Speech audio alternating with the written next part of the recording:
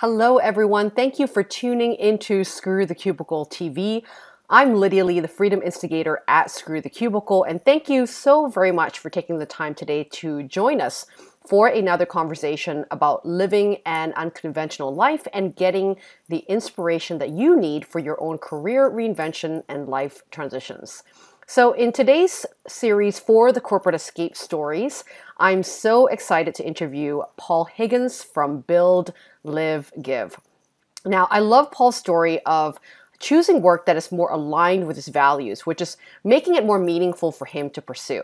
Now, after being in a very high positioned uh, corporate gig, uh, it's not an easy decision to give up a sure thing to really venture into that unknown world of entrepreneurship. So, we spoke about why we have to be really honest about whether our lifestyle and career choices are leading us to a life experience that we truly, really want to have. So I invited Paul to share his corporate transition story from working as a business director at Coca Cola and how his health issues instigated his motivation to be an entrepreneur instead.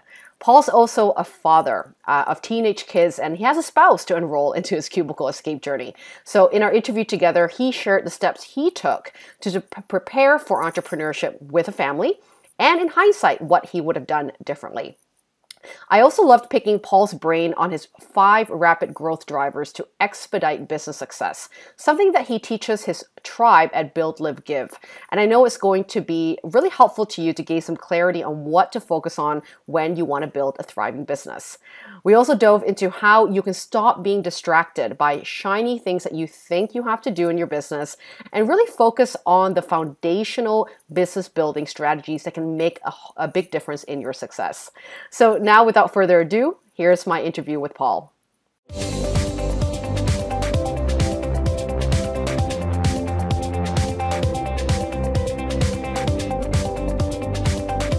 Escape the 9 to 5 and create your path to freedom.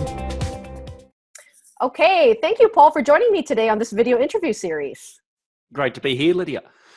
And is it morning? Is it morning time for you in Australia? I always have to remember what time zone we're in these days. It is morning time, and if you hear a bit of noise in the background, it's actually torrential rain here this morning. So uh, oh. we're trying to get out of winter, but we haven't quite got there. So uh, it's not the That's best right. of mornings, but mm. a great morning to be inside doing a video.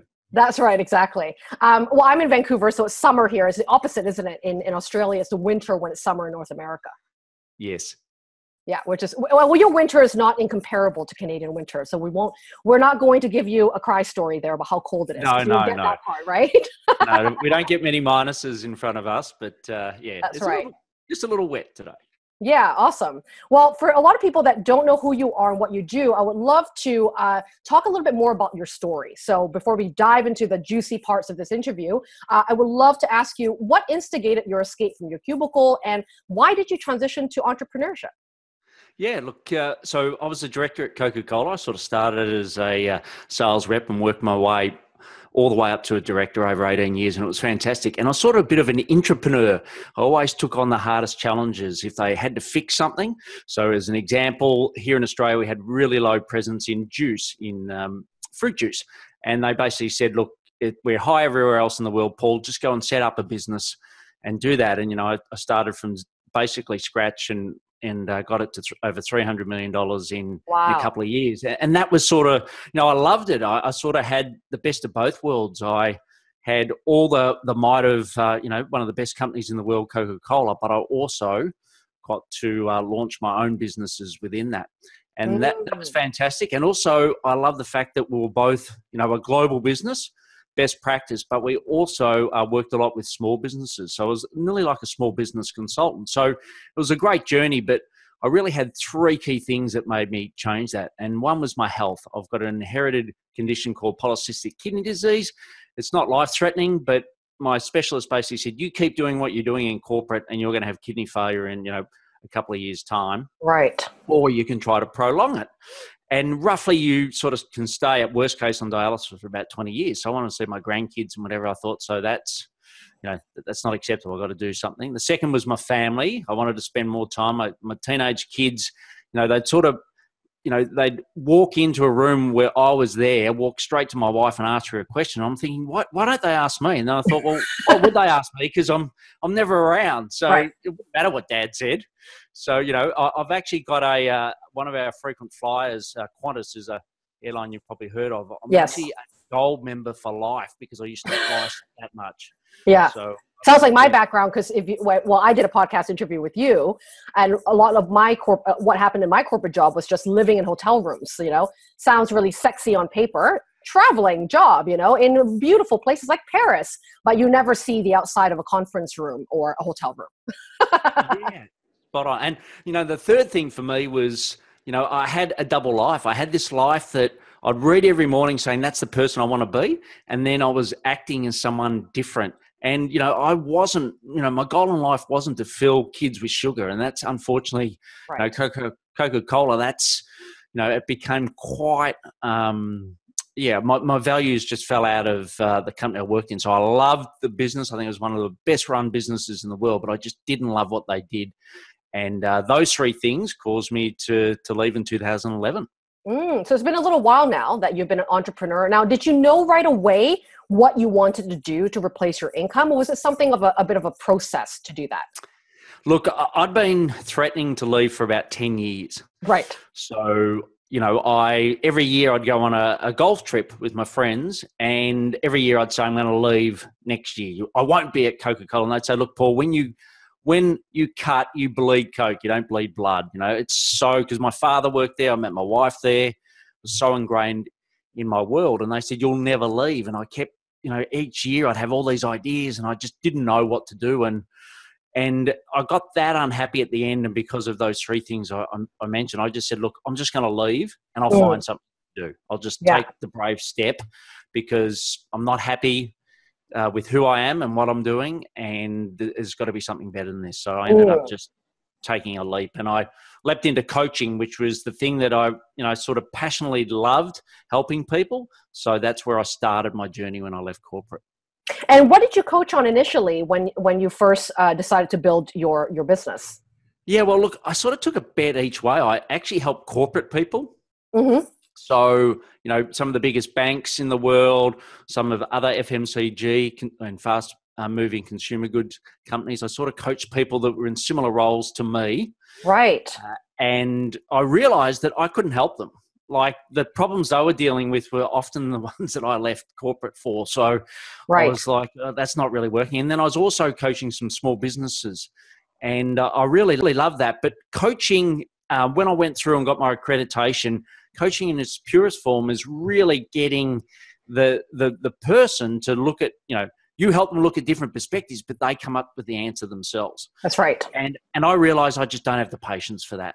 Like, you know, I, I just would sit there and think well you know you could do this, you could do that. I'm an ideas guy. And I just thought, this is crazy. I'm sitting there, I'm like torturing myself not to say anything. Mm. Wouldn't it be better if I just flipped it and, and became an advisor? And actually, when people came and asked for help, I'd still use my coaching methodology sure. when needed, but I wouldn't have to stay a pure coach. And I, and I think a lot of people get confused with coach, mentor.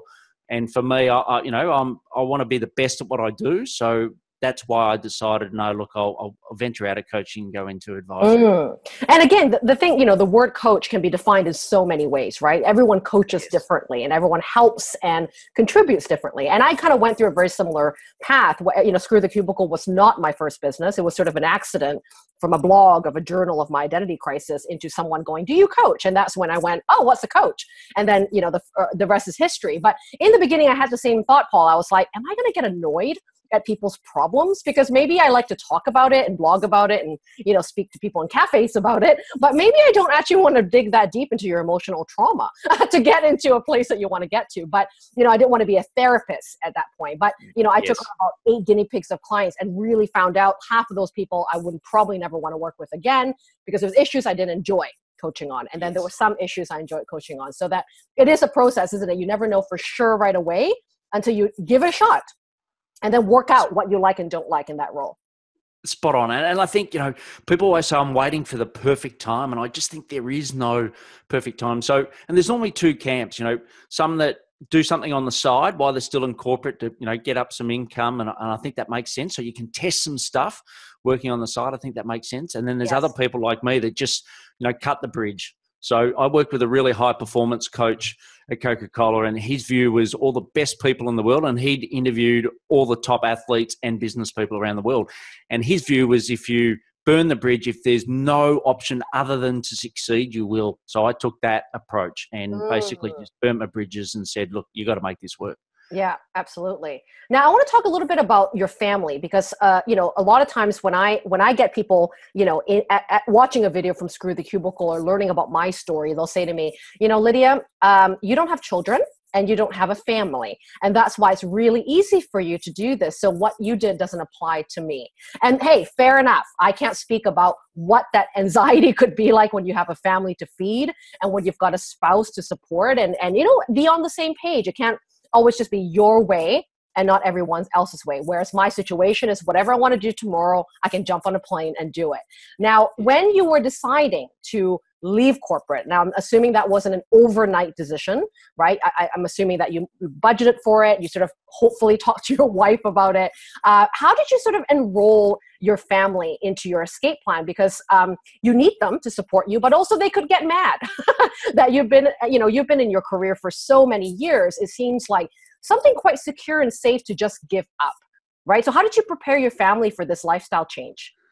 Yeah, look, the, the, truth is not as well as I'd like. So I'll sort of give you what happened and I'll also give you what I'd do if I did it again. Great. But what, what I sort of did well was we always had family goals. So we'd sit down and, you know, sort of like once a year we'd go away and we'd sit down and I was always a big planner, uh, you know, setting goals, etc. But I would actually say to the family, well, what do we want to do as a family? So we always had family goals. They certainly didn't go to the degree that I would – um, personally, but it was great. So we always, you know, came together as a family. So I sort of took my family through it. They were certainly aware of what I was going to do. So that that was all great. So that was the good side of it. And we also set goals of what we are going to do together as a family. So we um, were very lucky enough to travel. So you know, I'd always travel with Coca Cola. Like I said before, you know, I had.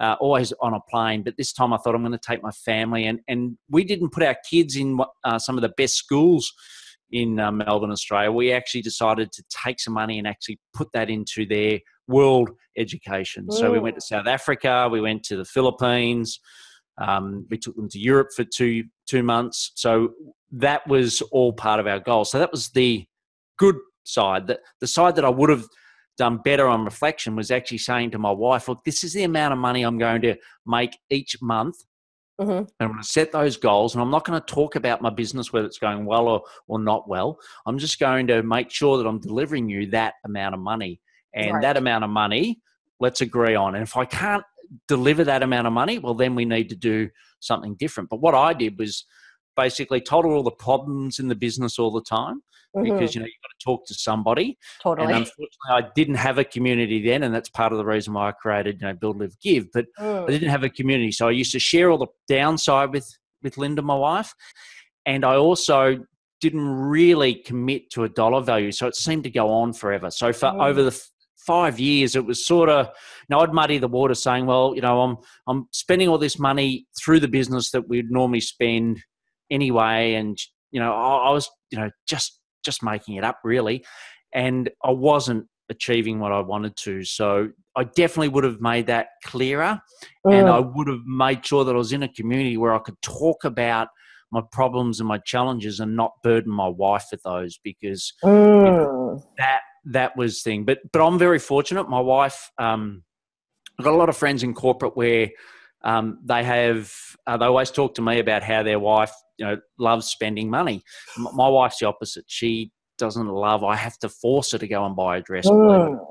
Wow. So from, from, that perspective, it, it really helped me um, because she, you know, she adjusted very quickly to the fact that we didn't have enough cash. We had lots of assets, and you know, and lots of shares, so that was all fine. But when you haven't got cash coming in, you and you're always used to having success, you feel very. Um, I felt like I couldn't spend anything because mm. I wasn't making money, even though I had lots of money. If that does that make sense? Yeah. Yeah, totally. So, now with, with in terms of the money part because you know it's quite natural for a business not to make money for the first six months to a year sometimes sometimes if you're lucky to break even that's a good good news right there without being in the loss minus zone right uh, now did you have to sort of prepare things financially with your family like you know be able to tell your wife for example that hey i've saved up or i am you know we've cut down costs to be able to afford right this experimentation for the first year of business. Um, was there like a condition that you have to set with her? It's like hey listen if we run through this money in our savings and we're down to our last hundred dollars here in the savings account i will do my due diligence to go get a consulting job or something to make sure we're safe as a family were there any conditions that had to be set with your spouse Look, as, as I said, I, I don't think I did that well. Mm. Um, I think what you've just articulated is the right way to do it. We didn't quite do it that way. We were fortunate that my wife was still working in corporate, and therefore I had that to sort of fall back on a, a little. Now, the downside of that is she really didn't like a job. She actually wanted to leave, but she right. felt compelled to stay there because I wasn't earning or I wasn't clear about the money that I was going to give her. So I think that's something that I would have uh, done um, uh, differently. But yeah, look, we we we were lucky. We were, you know, I, I could see that the share price for Coca Cola was going to fall because you know I was sitting in global meetings and thinking these guys have got their head in the sand around sugar. right. Um, this is crazy. This the shares the stock's going to fall. So I basically sold all of my shares when I left, and that gave me a lovely uh, nest egg. And, and I know this sounds not the nicest thing to say, but I actually, over those five years, I could just see the share price continually fall. So that was mm-hmm. sort of validation to say, well, at least you've made one good decision. Even though you're not making a lot of cash at the moment in your business, you've actually got the, the money from the shares to mm. uh, keep mm. going. Yeah, and I think for, for people who don't have access to shares and you know something that's a bit of a buffer, right, financially for them to rely on. It, I mean, the logical thing is that you'll have to save then, right? Which is what I had to do. I had no shares waiting for me anywhere, um, you know. And so it was about nine months of, of living expenses to be to be saved up because I felt safe. My conditions were um, I needed six months of living expenses that if for a rainy day, if something happens, I have that pot of money to dig into. And that allowed me to feel better right about about leaving and also feeling i'm not a risky you know person like i'm a calculated risk person and i think most people are right? We're not a let's jump off a cliff and hope our parachute opens kind of people. Like some people a little braver. I think you were a little braver than I was when you sort of went, screw it, I'm just gonna go for it and go and, and get to it. And I was definitely not like that, you know? So uh, I don't think it has to be that sort of mentality of just jump and hope things happen for you, but actually be really smart and responsible, right? Whether you're single or with family to get those finances in order so that when you do take that leap, it's safer. Yeah, and I think for us, we'd always had a financial planner. Ah, so okay you know, so it was over the 10 years of me deciding to leave, I'd always had this in the back of my mind. So it was preparing over a long period of time. So even at the end, it looked like, well, it was a rash decision. I'd actually build up our wealth. And that's why, you know, Build, Live, Give is about, you know, building your own dream business, but living well. So mm. part of that living is making sure you've got uh, wealth outside of your business because you running your own business is the most risky thing you can really do. Absolutely. So you got to make sure that you're using that income to spread that risk and then obviously giving back when you've got more than enough to, to give back to others. So, um, yeah, it, it's been a journey that it, it wasn't just a one off moment. For sure, absolutely. Now, talking about the beginning stage of a, a, new entrepreneur and a business, right? We talked about finance and sort of enrolling, right, your support systems and your family into your new dream. Uh, one of the things that sort of happens around this stage as well, and a lot of the, the viewers of this uh, interview uh, are in this stage, uh, where they always sort of t- tell me a little bit about, like, you know, it's so much information of what it takes or what I'm seeing out there in the wild, wild west of the world wide web. Lots of W's there. where it's just like amazing that we're living in the time, time and age where we have access to great information where you and I can be in different continents and have a conversation, which is great. But it brings in a new whack of problems, which is like overstimulation and over information and over education. Uh, and we get very stuck on not knowing what to do next because there's so many, so much noise out there telling us what to do.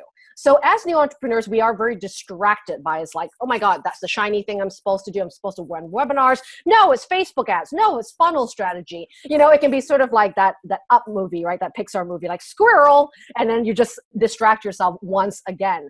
Uh, and you and I both know from running businesses for about five years our, ourselves as well, is that um, it's much easier to focus on one thing at a time and also be prioritizing what's most important, right, in your stage of business. So, uh, what's your advice, like for a new entre- entrepreneur that is being influenced a lot by what's out there and sort of what I call business pornography, right? Just like looking at what everyone else is doing and not checking in on whether or not that's something good for me to do. Uh, what's your advice on sort of discerning that information for our business and not getting stuck in that shiny squirrel zone and really have that laser focus on what really is priority for our business? Yeah, look, it's a great question. And, and I spent five years in that zone, right? So I, I know it really, really well. And so what worked for me is uh, joining a mastermind. So that in 2016, I, I really rolled the dice the last time because for me, you know, I couldn't really go back and get a job because of my health. You know, my kidney failure, or, you know, I was nearly at kidney failure. I was about, I don't know, 20% kidney function by then. Wow. So I really couldn't go back and get a job in corporate. And I just wasn't earning the money. And my wife was saying, Look, I want to leave my job. This is not working. So, in short, I joined a mastermind and it really taught me to get rid of all of the shiny objects and really focus on the stuff that, that matters. So, I set a 90 day plan and I executed against that. So I had very clear goals, I had very clear strategies, and I've found that the art of doing less.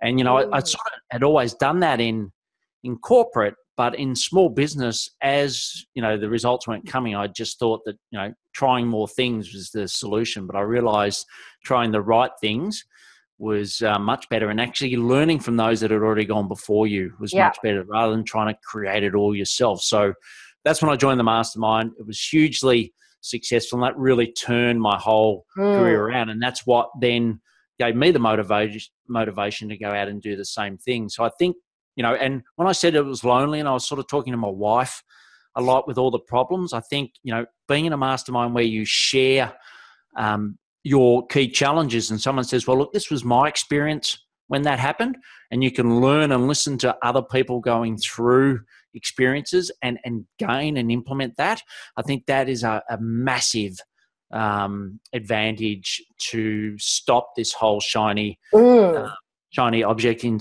um, syndrome and it's also about accountability too it's like yeah. every week turning up and saying this is what i'm going to do next week and then in front of you know 10 15 people saying did you achieve that i found that uh, made a massive difference to mm.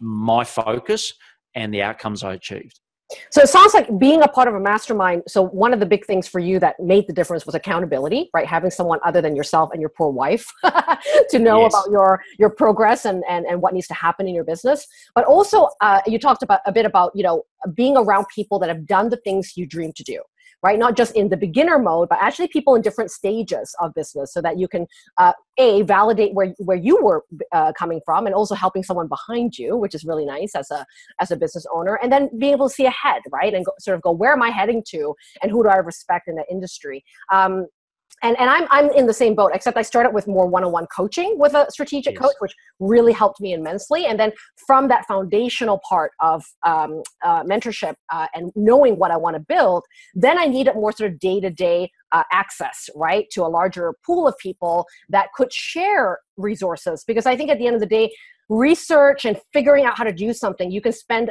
oodles of hours lost in that realm, right? Versus actually being a part of a thing like a mastermind, sort of go, does anyone know what tool I need for this and that? And get a real answer right away. And that saves time. It saves headspace and so forth. Now, what has really worked for me, and I'm not sure what uh, if that's been the case for you, is that not just choosing any mastermind ran by even someone famous or you know someone that looks great in their brand, but actually being mindful about, for me anyway, um, choosing the right type of influencer or business owner that does business the way that I like to do it. Like it doesn't actually matter. I don't care if you're a five million dollar business owner, but if you to get there was all about automation and just tools and stuff that you're going to teach me, which is no judgment, nothing wrong with that. But my style of business is intimacy and a very different type of model. And so I needed to be really careful about who I who I chose to mentor me. Uh, that wasn't only based on their success of financial gain, but actually around their values, you know, and how they approach business that needs to be aligned. Has that been like that for you too? Yeah, that looked totally. And I think, you know, running a you know, if you look at a million dollar business versus a $10 million business, very different to running billion dollar businesses like I did it at uh, Coca Cola. And, and they are different skills. And excuse me, I totally agree. You need to have that alignment. And that's where I struggle because all the masterminds that I was in, everyone was just focused on the money. So it was all mm. about getting to that seven, eight figures. You know, it was all the same copy, all the same thing. They all cared about what car they drove, what watch they wore. Right. You know, it was very material. And that's just not me. And, and you know, from, and that's why I sort of created my own at the end right. because I couldn't find that value alignment. So I think, um, yeah, you've got to be with like-minded people, values that are, that are aligned, as you said. I think that's uh, really important. Uh, I think you know the the other thing is that um, I'll give you a great example is like a virtual assistant. I think every uh, business owner should have a virtual assistant or assistant of some form. Um, you know, normally virtual is the best. And you know, there's just so many out there in the world. So who do you pick? You you could spend all of this time trying to research and find the right ones. But I know we've done all that hard work. I ran my own outsourcing and VA company for, oh, for five years. So, so I know this topic really well. So when people come to me, I say, well, look, given your situation, here's a company that I could refer you to. It's trusted, and that saves people lots of hours of chasing webinars, funnels, and everything yeah. to ah. try to get to the right product. I've cut all of that out. And, and, and my job is to basically do all the research. And I know you do a similar thing. You then, you know, because you're looking and you've got like-minded people, you're doing the research and it's a lot, a lot more efficient because you're doing it for lots of like people. Mm. Whereas if you're just doing it for yourself, and time is your most critical asset, you can churn and waste so much time trying to pick the right experts. So, now that's one of the core things that I've really struggled with because I thought everyone was like Coke, where they were the best supplier. They always did what they said they were going to do, and life would be easy. But I got burnt so many times. I spent you know, fifteen thousand dollars on an online course that never saw the light of day because the guy just disappeared. Right. Uh, so you know uh, that's a real pain point I see out there, and that's something that we definitely uh, solve. And mm. um, you know, don't spend all your time doing research because that stops you normally from selling, which is the key thing you've got to do as That's your right. own business owner, and yeah. also delivering. Yeah, and what your role, the best role you play is the thing that people pay you for, right? It's that thing you do that, you know, and, and no one's paying you for research. No one's paying you to uh, go on Canva and try to figure out how to do the best social media image. Like that's not your job right and i think that's a great point to make is that as a business owner there's lots of roles to play you're everyone the, in the beginning and maybe you do have to be uh, you start off as an intern in your own yes. company to sort of yes. understand what the moving parts are which is great but at some point when you need to focus on sales and getting customers and landing gigs so that you can pay the bills and feed yourself, you're going to have to start being picky, right? About where you spend your time uh, and what's more useful of your time. That's actually what you're meant to do, right? Yeah, and if you've got like in corporate, you know, I built my career over 18 years and I had, you know, didn't have kids at the start and it was a lot less, you know, it was a lot different and I could build my skills. Now you don't, right? So you've got normally teenage kids at school. For me, I've got teenage kids at school. I've got, you know, lots of uh, financial demands and I don't have, well, back then I really didn't have five years to get it right. I sort of budgeted for 12 and it, you know, took me five. So what I really want to do is, is help people reduce – that because you know you don't want to be eating into your savings. Yes, you might have them, but you'll need those for later later in life. Uh, we're living longer and longer, so you'll need that. So you know it's really about shortening that time because you're smart. You'll get there yeah. by yourself at some point. But wouldn't it be great to get there in you know in three months, six months, twelve months?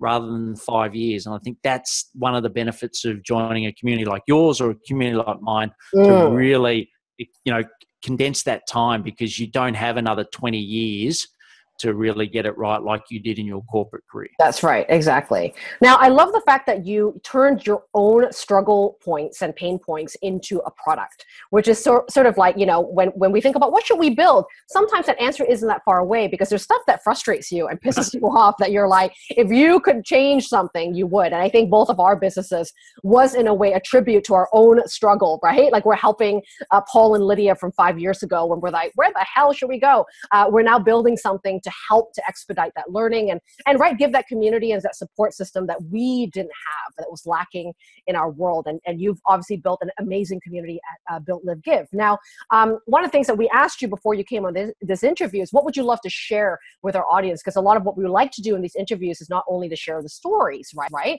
but to actually give people a tool right? Something that they yes. can utilize and leverage after this interview is finished uh, and make something happen. Like not just talk about it, but do something about it. Now, Paul, you mentioned uh, uh, the five rapid growth drivers uh, that was going to help new business owners to expedite their business success. Uh, can you talk about these five drivers and, and how do we use this and leverage this in our business right now? Yeah, great. And and you did right. I back engineered it, right? So the things that I would have done, yeah, I've now uh, crafted. So um, yeah, and and and really, and if you look at how I think our communities really work well, I know you really help people when they they first leave, and I think that's uh, brilliant. I'm probably a little bit further down the the line where you're sort of looking at a situation where you've got the lifestyle you wanted, but yet may not have the financial mm. freedom that you wanted. So that's where these five drivers really kick in. So Perfect. the first one is personal productivity. So that's, you know, how can we save you two hours a day to work on your business? I know it's a bit of a cliche, but, you know, mm. to change, you're going to have to find time to change. And uh, what we do is um, basically work on getting you a virtual assistant, like I said, and how you use them, and also the right technology stack. So those are the things, and we really do get people two hours a day back to work then on the other four drivers, the things that will really move the needle. Ooh, the second is ideal client. And you know, you talked about it before, finally, you know, people will resonate with you because of your values, but you've been very clear on who you serve. And I think the the, the quicker you get to that, so many times people I say, Who's your ideal client? And they tell me um, you know, like a billion people. I'm like, you're never going to serve a billion people. Like, actually, we're lifestyle businesses, and if we get to one, two million dollars, we're happy. We're not trying to build the next unicorn. So you got to be very prescriptive around who do you serve and how do you serve them, what their pain points are. And I, I don't think people niche down enough. Totally and, true. You know, I know you and I have, have, have done a good job in that. We practice what our, what we preach, but I think that's uh, very clear. So that's number two. And once you know that, then how are you going to serve them? So you know their pain points, their fears, their frustrations, etc. Then the third is the business model. So how are you going to do that? And that business model's got to align with what you want. So first you've got to work out your non-negotiables because it's no good just creating a business that actually doesn't align to what you want because you might as well just go back to corporate. So right. first set up what are the non-negotiables? Who are the competitors out there? How are they doing it? everyone says there's no one like me. There always is someone that someone's making a decision whether they go with you or someone else. So you need to find that out mm-hmm. and have a look at that, and then be very clear on what your unique value proposition is. And then off your unique value proposition, then you set your pricing. So you make sure that you're pricing right. And so often I see people looking at volume of clients and trying to get more volume. It's much easier to serve the ones you've got and price your mm. product well and and meet all of their needs rather than constantly spending money on marketing to to attract new. Yeah. So that. so that's the business model. The fourth is sales focus because you know now that you've got your model clear you've got to go get out and sell and, as i said mm. before the number one thing you've got to do is sell no one can do that for you as a small business owner you've got to do it yourself. And in marketing there's sort of three ways. There's free paid and joint ventures. So you look at ways to attract people to you and then you look at ways of converting those. And um, you know that's where i think my experience is a little unique being coke sort of had some of the best uh, sales training in the world. So i've got that but also working with small businesses over the last seven years we've really perfected that. So we help a lot with that and then the last is okay now you've got all this volume so that's great you've got all this work what you want to do is protect you. You know, you left corporate so that you can spend more time with your kids, or you can travel the world, or you can do whatever you really want. You don't want to be a slave to your business. So you need a team. So the fifth is a high performing team. So building a team, it'll probably start with the right contractors. And like I said, we've got around 150 vetted suppliers that you can tap into to um, help where you don't want to do things. So whether it's a VA, whether it's web development, you should be letting go of all the things that you're not best at to focus on sales, and then also building your overall team. So you might start build some direct employees, and then there's some things that we've got under that. And once again, Coca-Cola was brilliant at managing. It had over 800,000 people globally, just in the Coke company alone. So um, you know, I've got all of that experience that I went through in, in development, and then we basically help people implement that with their team. So they're the five key drivers. They don't always work in uh, a linear fashion, but you know, sure. if you look at it, they're very practical, and uh, we've got key elements. And uh, later this year, we'll actually have a book out that wow, goes great. into detail to help people uh, implement those five key drivers into uh, their business. Excellent. I love those five things because I mean that's uh, uh, some of the most. When I was thinking when you were talking about it, I'm also thinking about my own business as it was developing in the last five years, and there were definitely I didn't even think about a team until I got like so busy that my life got out of hand, where I was yes. like, "What the hell have I done? I've created a job I don't even want to go into, except I'm the boss. I have to fire myself." Uh, you know, and I didn't do that until probably didn't think about that. And to be honest, didn't think about preparing for a team, you know? And so doing it, having to go backwards, you know, when I was hiring, going, shit, I don't have the systems to even onboard this person to be me in these areas because I did, I never thought about it above and beyond me you know and i think it's so great that you're teaching these components so that even if you are starting as a solopreneur right starting as as you are the asset this may not be where you want to end up right where you want to have time off. That's the whole point and be with your families and so forth. So we have to be building our business where almost like we are already anticipating there will be a team and there, we might even sell it if potentially that would be an option for us and build it that way from the get-go so that you are prepared for that uh, that, that outcome for yourself yeah, and, and look, you know, I've really spent 25 years sort of collecting all of this knowledge, which, um, you know, now I can and really add value because, like I said, the Coke company did great things, but also Coke companies' clients. So we work with oh. McDonald's, we work with some of the most successful companies in the world. So you got to see how they worked and you know how they trained their people, and so you sort of accumulated all that knowledge. And then I've worked with so many other corporate escapees and small businesses since I've left. So sort of combining those worlds are great, and corporate do some brilliant things. You know, setting a key objectives and and and having a like a training 70 20 10 you know 70% on job 20% within the company 10% external having the right training development. A lot of small business people you know don't get the benefit of seeing those things that corporate do. So you get that bit of corporate but then the nimbleness and the flexibility that small business has. You know i had a, a company the other day that um, I sold something to as a medium sized business, and it was like a four thousand dollar decision. And the guy's like, I can't make this decision. I'm like, hang on, this is going to save you two hundred thousand dollars. You know it's going to save the company two hundred thousand dollars, but you can't make a decision for four thousand dollars. You've got to go up the line. And I thought, oh, that's the downside of corporate. Whereas in your own business, you just make those decisions. You know, so it's yeah, I think it's uh, never been a better time to do um, to uh, you know escape you know, uh, like you help people do, and uh, and how I then help people uh, build to to do that and you know take control and, mm. and run your own destiny. I don't think there's ever been a better time.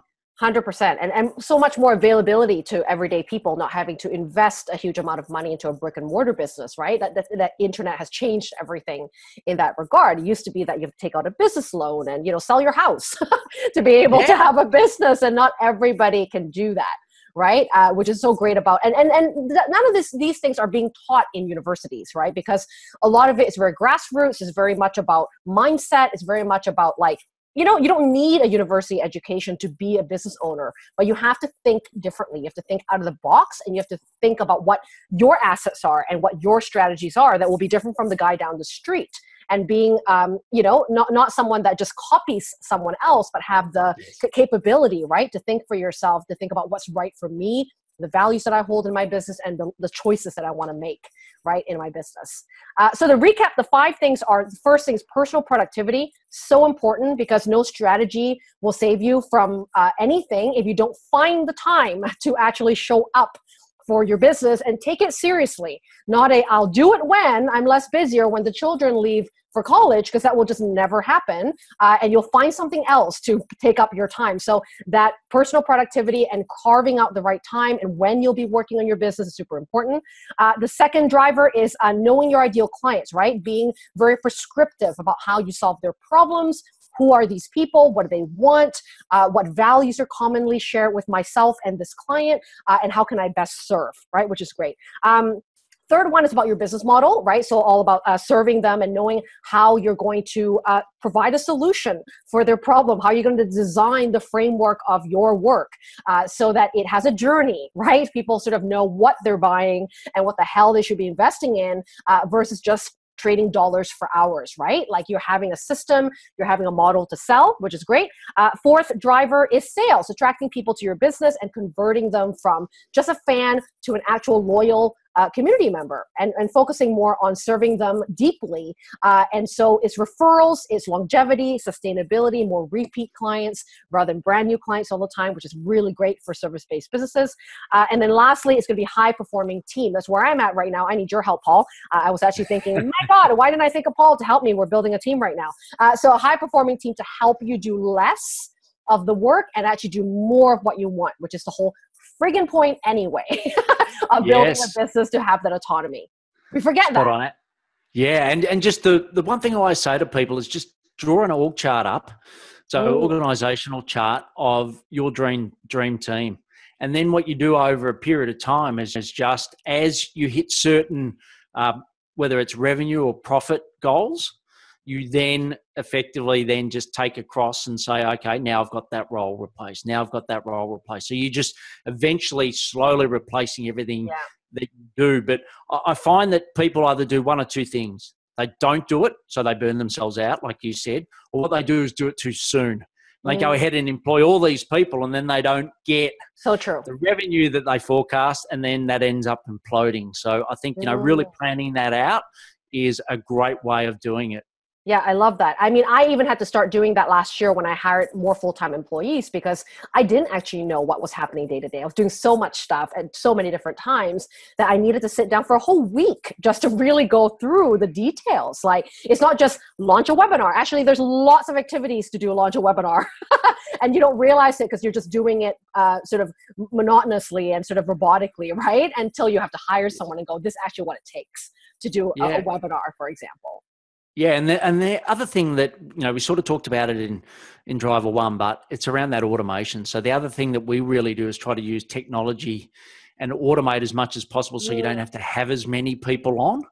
And I, I still think you know that's where you can be really smart. We've got a, a separate business that that I'm uh, an investor in and we run, which sort of helps companies set up their technology stack. Ooh. Mm. And, you know, I think that's where you can get gains. Like Coca Cola, yes, they had lots of people, but if you walk into a factory now in Coca Cola, there's probably, you know, one tenth of the people that even 10 years ago were there because now they've got robots and they've got other things that they've constantly implemented so that, you know, because hiring people in your business is one of the riskiest things you'll ever do. So, how can you actually help the existing people so that you don't have to carry that much risk? So, I think that's mm. where technology can really play its part as well. Love that, Paul. Thank you so very much for giving us those five drivers. They're, they're really great for us to think about whether you think you're in that stage or not.